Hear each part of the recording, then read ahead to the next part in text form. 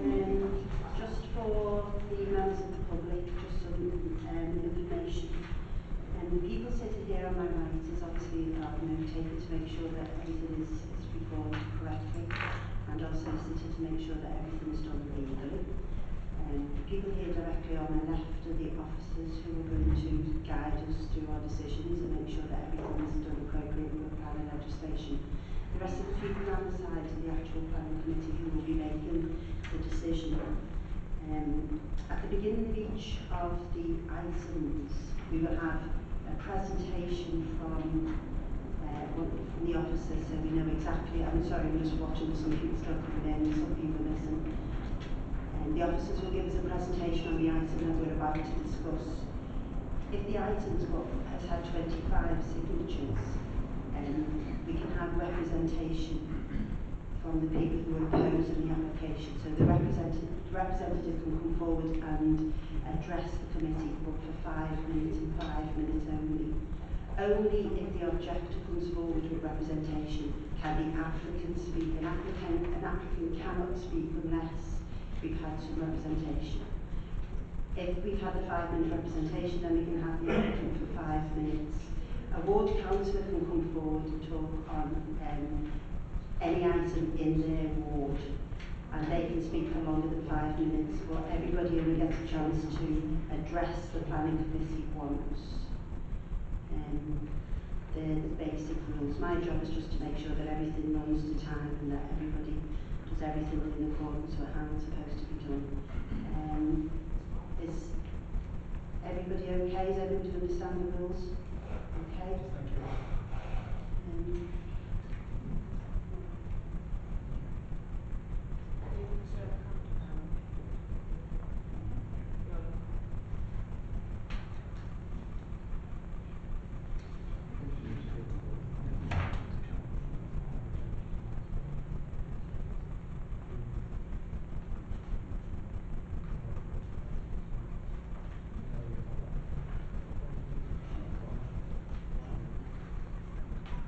so it's not each of them. Okay. Okay, we're going to, we're going to move on. Um, we're going to do the uh, items on the agenda. We're going to do five, six, and then revert to four. So that's going to be the way it's going to be done. Um, first of all, um, the minutes of the meeting. Has everybody approved the minutes of the meeting? Is everybody okay? Yes, everybody. Thank you very much.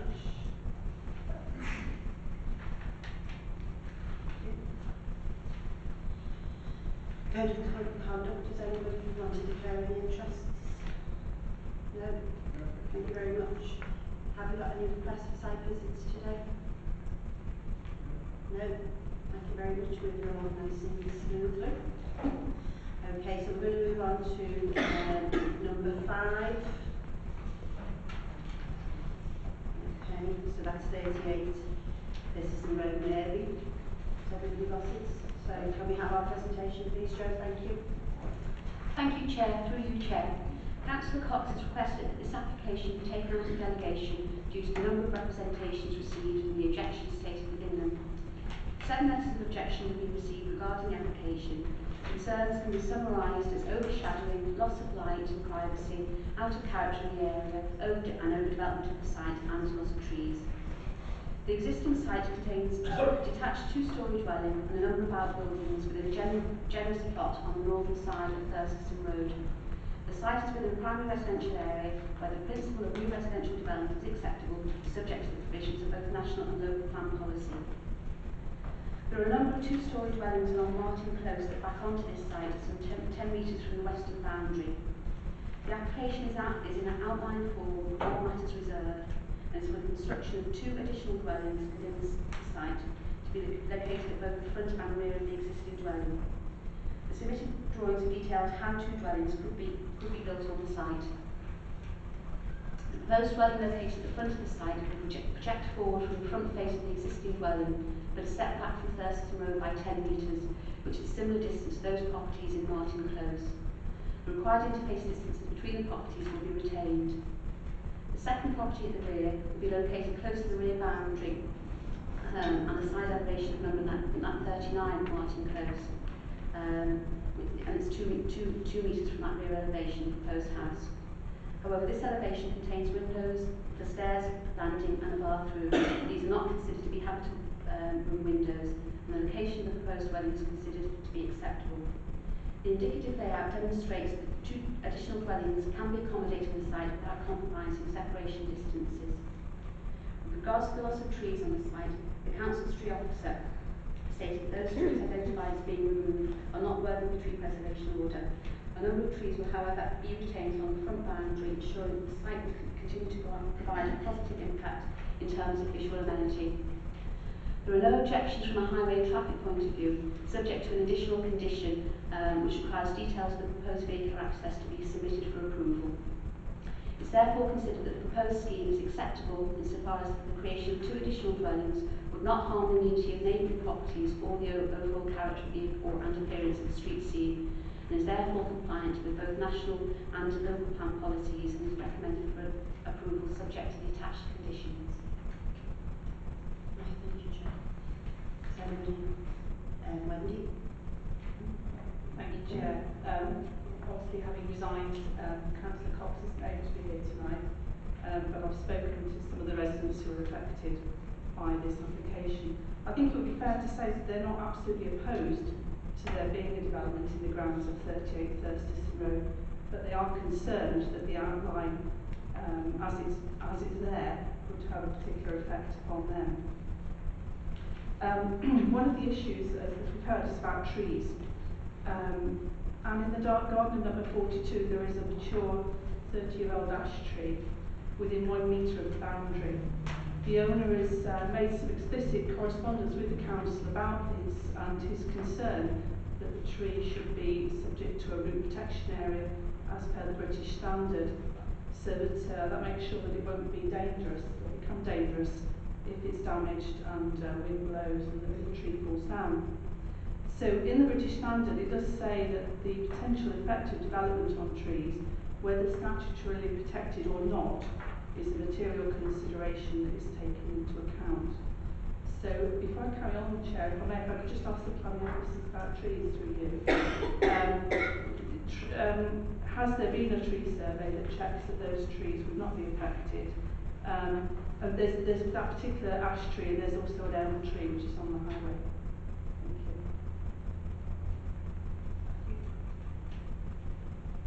Thank you. Uh, Thank you through you, Chair. Um, There hasn't been a tree survey submitted with the application, but the trees on the site have been assessed by the um, the council's horticultural officer um, in terms of their um, their present health and their health into the future.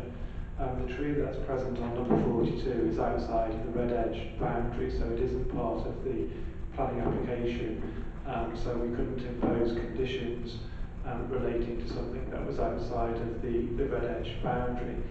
If that tree was damaged at some point in the future by any work that was being carried out by the developer on the site, then that's a civil matter between um, the, uh, the applicant, the developer and the adjacent landowner.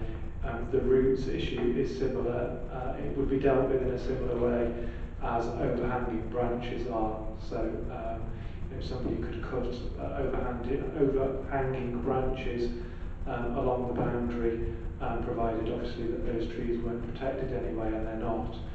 Um, uh, so that's the situation with the trees. We couldn't, as I say, impose any conditions for trees outside the site um, because they're not included in the red edge boundary. It difficult to understand just because the um, the British Standard talks about um, the tree survey material constraints arising from existing trees that merit protection. It talks about trees on or adjacent to the site, but I have to bow to your um, your decision about that. Um, in terms of the appearance and the amenity issues for this this application. With my member of the public sort of hat on, I find it very difficult to see how these proposed dwellings are in line with the other properties on Martin Close. Um, they're not in Martin Close. And when I look at the plan, they don't really, they're not lined up in the same sort of way. And the report itself says that it's not considered that two additional dwellings on this site will look particularly out of character or unacceptably harm amenities of neighbouring properties. Well, that's a bit of a matter of opinion. Um, um, different people have different opinions on that, it would be fair to say. And if you write that something will unacceptably harm the amenity, then it implies that there is some harm to the amenity of the neighbouring properties. Um, I do have some photographs, Chair, if I can just uh, pass a couple around. they show some of the views um, from number 39 Martin Close, and you can see how uh, the residents there are concerned about the effect on their property. House number two is within a metre of the boundary of the site, as shown on this outline application. And uh, a lot of light does come into the house through the non-habitable room windows, but it is very effective therefore. And the plan shows you the concerns that the residents have. It shows you how narrow the access is and it gives you an indication about the spacing of properties in Martin Close. And uh, they're not as close as these other properties would end up being to the people who are there. In the report that we haven't yet considered, that's on um, the agenda for item four, um, on page 11 in fact, policy HS4 is quoted a bit more fully. As, it says it permits housing development providing it is of a scale which relates well to the surrounding area and would not harm the character. And on page 11 it also refers to in particular with regard to existing densities. And uh, I believe that this is going to be a lot more close together and a lot more dense than what we see in too Close as it is. Chair, I'll give the committee a chance to speak about it. Thank you. Okay, thank you. And does anybody else have any comments to make? David?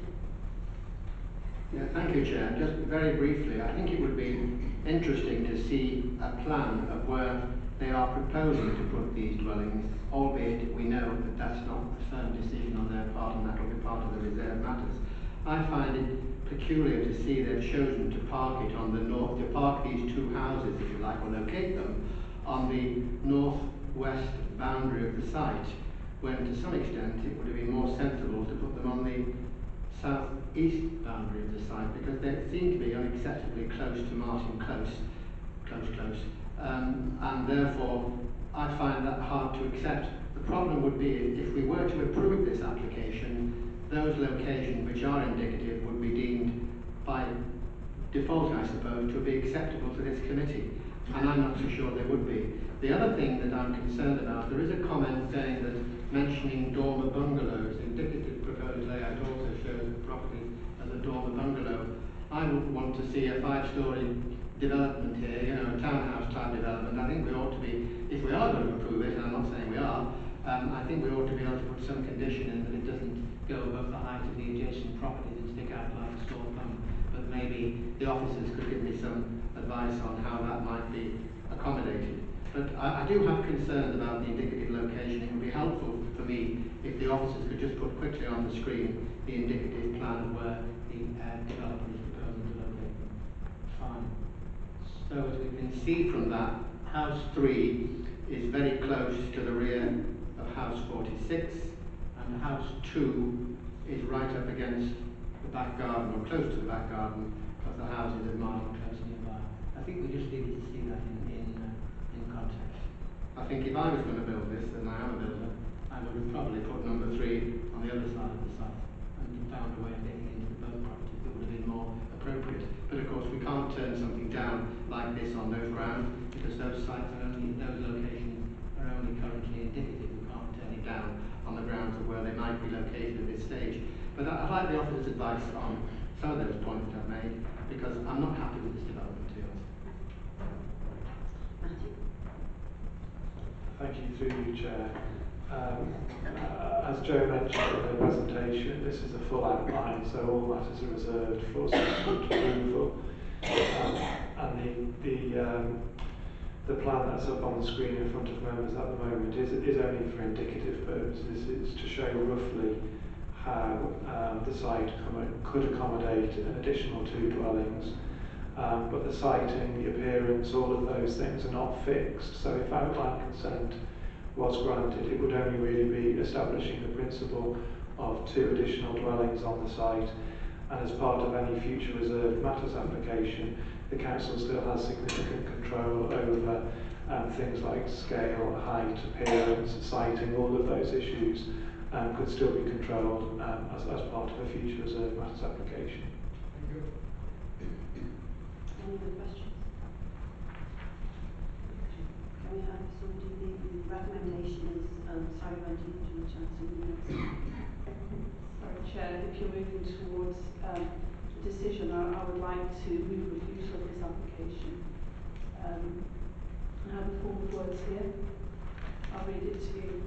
Um, the proposal would result in a form of development having a cramped and overdeveloped appearance, and the siting of two additional dwellings on this plot would introduce a pattern of development that would lead to a detrimental change in the character of the area. The proposal is therefore contrary to the guidance within the National Planning Policy Framework and Policy HS4 of the Wirral Unitary Development Plan. Okay, is anybody, is Well, obviously now we've heard a reason for refusal, that may have prompted, well, has there prompted some questions in, in my mind, shall we request, I can ask a question now about what the potential reason for refusal may be, is that, is that allowed or? Yeah, I'm going to allow it because I want this to be debated properly before we agree. Does, does the committee agree with that? Is everybody happy we go on with the debate? Okay, because it has been seconded, so we can, okay, Stephen? I, I, think it's, it's a bit of a, Sorry, it's a bit of a lead on from David's question about the uh, where where the houses are going to be situated because looking at the the outline on on the map that we get with our plans, it does look feasible that three properties could fit on there without compromising the sort of average plot size, for for example. And my, my, my view is that the, the reason for refusal um, is challenging that to say that the plot size will be significantly out of keeping with those properties, uh, I presume that's Martin's Close you, you refer to there. Um, so that, that's my question really, you know, what does the average plot size look if you, if you could divide that site up into equal portions, if, they don't look on scale very disproportionate to what's around it. Do you know what I mean? So that's the question I'm asking. Is it possible to get three properties on there without compromising the more or less average plot size? Uh, again, thank, thank you through you, Chair. Um, obviously, the officer's recommendation um, picks up on, on um, that, that we, we feel it is possible to have three dwellings on that site, obviously including the existing dwelling. Um, as I said before, siting, appearance, all of those things are reserved for um, further approval. So it is possible to have um, uh, an- another dwelling sited here and another dwelling sited there. And if you look at the plot sizes, particularly on this side of, of, of the, uh, the application side, if you were to subdivide the plot in this way, then the, the plot sizes would be similar. Um, having said that, if you look at the plot sizes here and, and the properties at the rear, um, that those, those plot sizes are different, so there's a different character um, in terms of them being more linear and, and narrow. Um, so really it's, it, it's a judgment I think for the members to make, but our view is that three dwellings on that site it, uh, could be accommodated um, subject to uh, the detail that would be submitted with a reserve matters application. Any further questions? Okay, is anybody prepared to second? Um, Thank you very much. So we've got a second there, and so I'm going to put that to the vote. The recommendation now is to go against the officer's recommendation and to vote for refusal. So all those in favour of refusal, please show.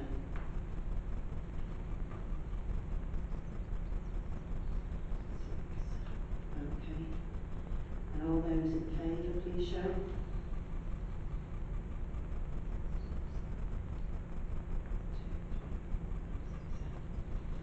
Okay, so that's Hannah just by the skin of its teeth. That's, that's To, the amendment, the amendment is lost, so uh, we're going to vote again now on the officer's recommendation for approval. Uh, so Denise wants to propose it, who wants, does anybody want to second it? Steve will second it, so we've got Denise and Steve, proposer and second. So all those in favour of the officer's recommendation to approve this um, item? And against? The application has been approved. Thank you very much.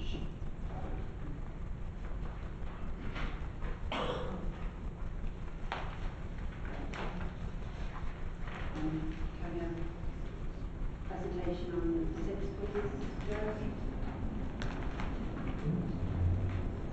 Thank you, Chair, through you, Chair. This proposal is for devel- development that does not fall within the categories defined as appro- inappropriate within the Green Belt, and as such departure from development plan and the advice contained in the National Planning Policy Framework. The application is therefore required to be determined by a planning committee. The application comprises of a small timber building measuring 8 metres, 8.5 metres by 4.5 metres by 2.5 metres in height and will be connected with um, horticultural training. The application cites approximately half, half a hectare in area and has been used as a soft, soft fruit farm since the early 1960s. The current owners have, sin- have since 2004 also grown fruit, vegetables and herbs.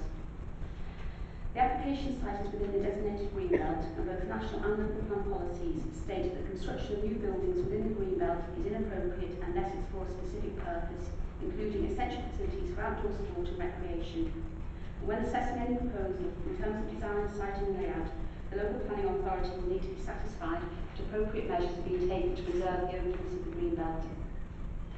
National Planning Policy Framework also states that planning policy should support economic growth in rural areas through the promotion development um, and diversification of ag- agricultural and other land-based rural businesses. In terms of special circumstances, the proposed building is small scale and sets some 60 metres back from Thornton Common Road within a small copse of existing trees. The applicants advise that the proposed building will be used in connection with teaching workshops related to the growing plants. The outs- outside space will continue to be used for horticulture and assist with the courses as a practical element. The intention is to hold gardening and herb-based classes and workshops on two or three days a month throughout the year. The numbers will be limited to 10 or 12 people per course. With regards to the character and openness of the green belt, the, the building is low level and small scale and will have the appearance of a small stable. It's not considered to have an impact on the openness and character of its green belt location. The site has been used for horticultural purposes for a number of years and proposed building for training is ancillary to the established horticultural location which will support paragraph 3 of the National Planning Policy Framework, which in turn supports the continuation of use of land for agricultural purposes and promotes the development and diversification of a land-based business within the Green Belt. It's therefore considered there are very special circumstances in this instance and the proposal is recommended for approval subject to the attached conditions. Thank you, Joe. David? Thank you, Joe. Could we possibly have a look at the site plan, and just showing what it, where the building is located? And if you've got a picture of what is being proposed, I think that would also help us to understand it in context.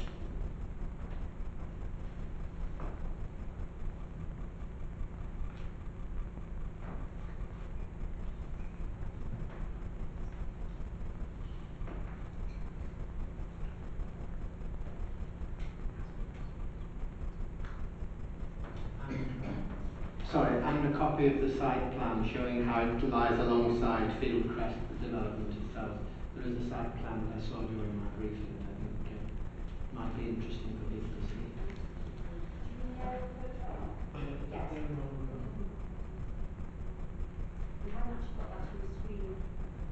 Uh, That's okay. Can you just indicate from that which we've seen where this development or this hut would be located? Yes, it's within that small, within that small box of trees in the centre of the site. So if we can just put the site plan back up, maybe somebody could just indicate where it's going to be. It's right on, it's on the right hand side, I think, isn't it, close to Fieldcrest? Just, just help people understand where it is and what it's being used for. Thank you. Um, Chair, a question please. Um, if I were to put in a planning application for my house and I owned the property, I show all my land as being part of the application. Why is this street separated off as half the land owned by Gilchrist? You would only put your, you would only put the application site in, edged in red, any other land that you owned would be edged in blue. So the application site only would be edged in red, but if you owned any other land adjacent to it or elsewhere, then you would edge that in blue. It's only the application site that is edged red. And. Why is that area the application site and not the entire piece of land that is one site that is Fieldcrest? Because it is over that area of the site that's edged. The, the applicant is designated that.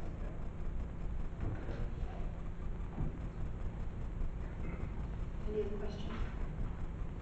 Okay, the officers recommend that, no? Okay. The, the conditions do assure us that this can only be used for the purpose we've read on the on the plan, which is for horticultural purposes. It couldn't be a residential property at any point.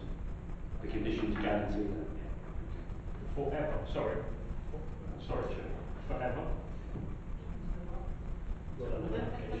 I, I I was just remembering uh, uh, another site in Thurston where a shelter for um, fruit pickers has recently got planning vicious and A1 retail use, including all sorts, including an undertaker's.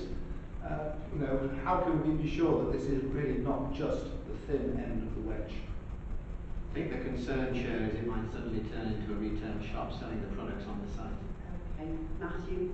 Uh, through you, Chair, the condition number three ties it to horticultural training purposes only and for no other purpose within, within that use class. Okay, is everybody happy? No more questions? The recommendation is approved, so, um, can we have somebody who'd like to propose a second, please? A proposer? Propose approval, yes. Okay, go on again, we have, uh, we have Steve and David. Okay, Steve proposed and Dave second. All those in favour, please